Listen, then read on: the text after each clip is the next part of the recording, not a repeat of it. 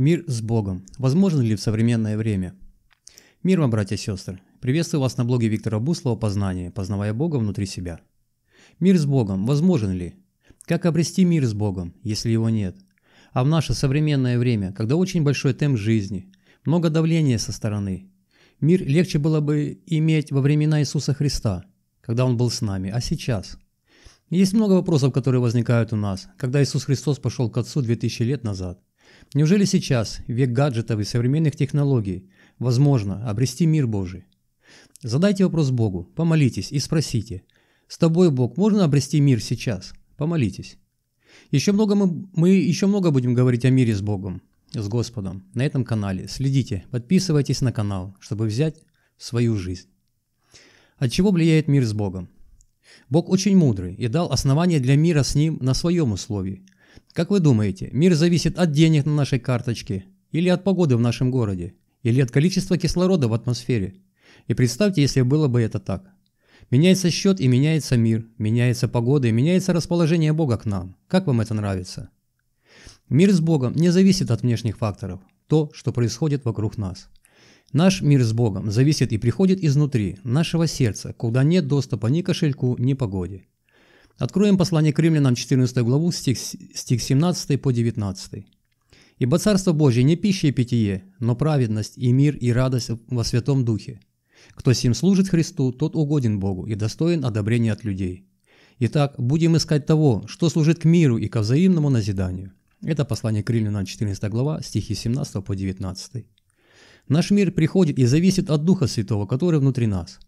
Когда мы пришли к Богу с искренней молитвой покаяния и верой в Иисуса Христа, Он очистил нас от грехов и исполнил нас Духом Святым. И наша жизнь теперь не только пища и питье, но и праведность. Это осознание оправдания перед Отцом Небесным, мир и радость во Святом Духе. Праведность, мир и радость не от счета на карточке, не от погоды на улице, а жизнь с Духом Святым. Дух Святой – основание нашего мира с Богом, а не гаджеты – не внешние факторы влияют на мир с Богом и, и внутри нас, а Дух Святой, который с нами и внутри нас, дает мир. Помириться с Богом. Чтобы помириться с Богом, не нужен счет в банке или, или дождливая погода на улице. Нужна вера в Иисуса Христа. Откроем послание к Римлянам 5 глава, стихи 1 и 2. Итак, оправдавшись верою, мы имеем мир с Богом через Господа нашего Иисуса Христа – через которого верою и получили мы доступ к той благодати, в которой стоим и хвалимся, надежду и славы Божьей. Это послание к Римлянам 5 глава, 1-2 стих. Чтобы иметь мир с Богом, помириться с Богом, нужно верить в Иисуса Христа, в то, что Он сделал для нас на земле. А это, был распят вместо нас за наш грех, был похоронен и на третий день воскрес. Именно эта вера нас мирит с Богом Отцом Небесным и дает нам доступ к благодати Божьей. Именно в ней мы живем – и это основание никто у нас забрать не может и не зависит от счета в банке, модели гаджета и от погоды на улице. Мир – это плод Духа. Мир в сердце и разуме – это плод Духа Святого, как написано в послании Павла Галатам в 5 главе, стихи 22 по 24. Плод же Духа – любовь, радость, мир, долготерпение, благость, милосердие, вера, кротость, воздержание. На таковых нет закона. Но те, которые Христовы, распяли плод со страстями и похотями. Это послание Галатам 5 глава, 22-24 стих. Мир с Богом – это присутствие Духа Святого внутри нас и Его действие. Дух Святой, как огонь, горит и изменяет наши чувства, желания, выжигает плоть со, со страстями и похотями и заменяет, наполняет любовью, радостью, миром, долготерпением, благостью, милосердием, верою, кротостью, воздержанием. Но Бог дал нам свои условия для мира с Ним, и это вера в Иисуса Христа. Мир сердце, разуме – это плод Духа Святого внутри нас. Мир в семье, работе, служении – это когда мы поступаем, как нам говорит Дух Святой.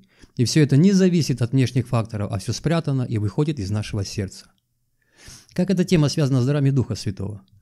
Осознание мира с Богом, состояние мира в сердце, разуме дают хорошую основу для общения с Духом Святым и развития даров Духа в нашей жизни. И жить в дарах Духа не зависит от внешних факторов, а исходит изнутри нас, нашего желания, и ничто не может помешать. Братья и сестры, задайте вопрос Богу, как можно обрести мир с Ним. Прямо сейчас помолитесь и спросите, задайте вопрос Духу Святому. Мы еще много будем говорить о мире с Богом на этом канале. Следите, подписывайтесь на канал, чтобы больше узнать Бога.